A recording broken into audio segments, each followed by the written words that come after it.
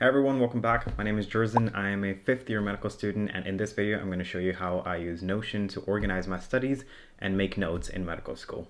First, we'll go through what Notion is, and then we'll talk about some principles that I apply to study more efficiently in medical school. And finally, I'll take you on a tour of my Notion database so I can show you how exactly I apply those principles while studying. To not waste your time and make it much easier for you, I'll be leaving timestamps in the description and you can use the YouTube chapters function to jump around the video to a portion that you think you would find interesting. First, we can get started by talking about what Notion is. Notion is an all-in-one app that you can use for project management and note-taking. Notion is an extremely powerful app, but I like to use just one or two databases to keep it simple while studying one for my notes and one for projects and reports. The best part of all this is that Notion is completely free to use.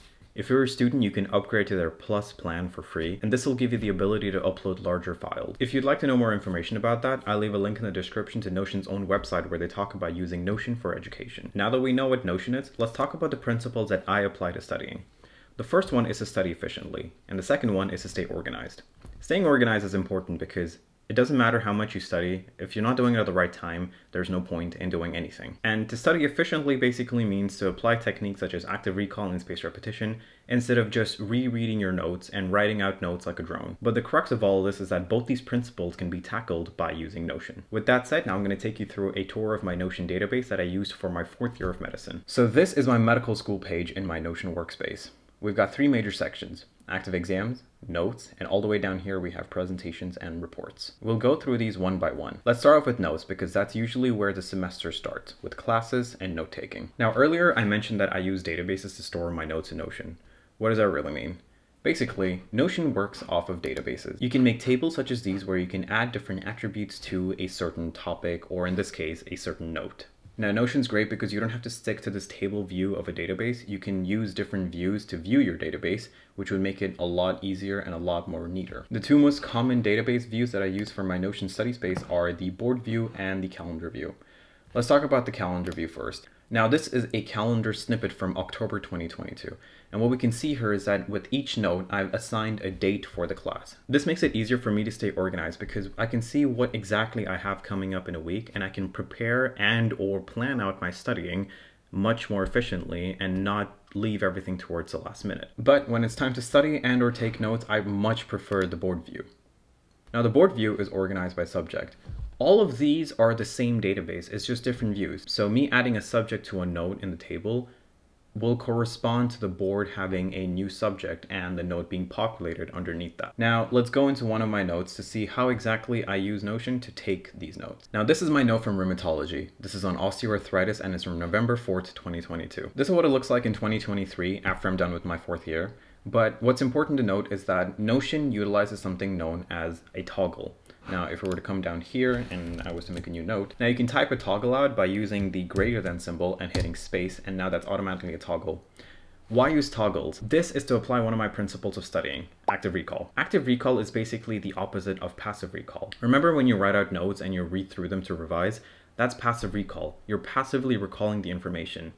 Active recall is basically when you would hide that information underneath the question, usually using a flashcard or in this case, a toggle, to make sure that your brain is actively trying to memorize and remember the information instead of you just reading it out. Now we can see here that I've used the toggle function extensively to write all my notes out. Basically, all my notes go underneath questions. This makes sure that I am actively going to be recalling it when I revise. And when I'm revising, depending on how I answer the question, I would grade myself with the traffic light signal system by highlighting the question as either green, yellow, orange, or red. So let's see this in action. Over here we have a question. What are the pharmacological treatment methods for osteoarthritis? Now, if I were actually revising this, I would try to recall this information first, and then I would click the toggle to see the answer. If I were just reading it, I could hit Option Command T on my keyboard to open up all the toggles, but it's much more preferred to actually do the question and answer method. Once I do that, I can see that the answer are NSAIDs, glucocorticoids, hyaluronic acid injections, and opioid analgesics. If I got it right, I would mark it as green. If it was okay, I would mark it as yellow. And if I completely got it wrong, it I would mark it as red. Over time, you can see where your weak spots are and you can revise the parts that you found difficult more often and the parts that you found easy less often. This is called spaced repetition, and this is the second half of my efficient studying along with active recall. Now, a couple of tips that I would give everyone while writing your notes out are A, use the Feynman technique.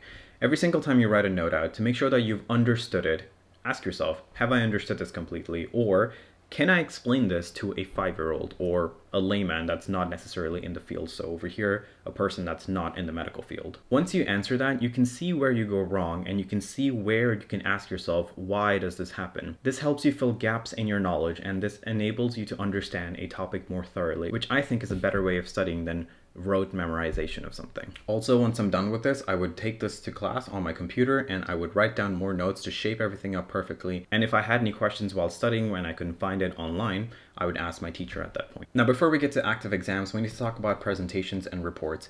This is basically the same thing as taking notes, but instead I've got a separate database here for reports and presentations. Right now we've only have one report here because I deleted all the other presentations because I was in the midst of moving my notes from here into an archive, but essentially it's the same process. Some differences might be I might add a submission deadline and when the presentation is, and I might add a little bit of metadata such as the requirements from the university, the sources that I used, and also a little to-do list for myself so that I can stay organized. This is another reason why I like using Notion. It's great for project management because it's not just a note-taking app. It's everything combined together and it's one single app and it's across all your devices. Now, once I'm completely organized and I have everything ready and I would start my actual research process, I would take notes underneath Notion just like normal. These are more free-form notes because these are going to go into a report. They're not necessarily for class or for studying. So there are some differences there. Now the final section I want to talk about are active exams. This is just a tiny little sliver on top of my medical school page. And the reason I have this is because I would like to prioritize studying for an exam over prepping for a class. I like to keep those spaces separate. Now these are extremely simple. This is not a database whatsoever. These are just regular old pages in Notion, which you can do by hitting slash page. And for example, let's go into the rheumatology exam page here, and we can see that it's the exact same situation we get these questions from the university, which we know are going to be coming in the exam. And what I like to do is I like to go through each question, just bash through them, and then later on try to recall it actively, of course, and highlight it as green, yellow, or red. So over here we can see this is my prep for the rheumatology exam. And we can see that I had some issues with small vessel vasculitis, and I think we had some issues with rheumatoid arthritis here. But all in all, I feel like this is a very efficient and easy way to study. So once I'm done bashing through these questions, I would attempt the exam. And from my personal experience, guys, studying with active recall and spaced repetition and toggles or flashcards or whatever you'd like to use, it's a really great way of studying. You tend to understand things better so you can apply them in different fields of knowledge and you also see better grades. So that's kind of it. I just wanted to show you guys how I use Notion to study. I'm getting back into making videos now and I just wanted to start off with a little bit of a short video showing you how I've been studying over the past year. If you'd like more content like this, you can subscribe to the channel and you can subscribe to my newsletter as well and also follow me on Twitter if you'd like to say hello. Let me know if you're going to be using Notion to study down below in the comments. Until next time,